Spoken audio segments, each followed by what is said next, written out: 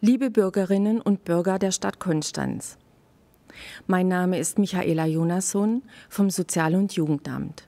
Für persönliche Belange und rund um das Thema Familie haben wir für Sie eine Hotline eingerichtet mit der Nummer 900 4000.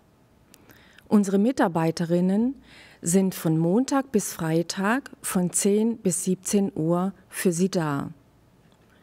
Scheuen Sie sich nicht, uns anzurufen.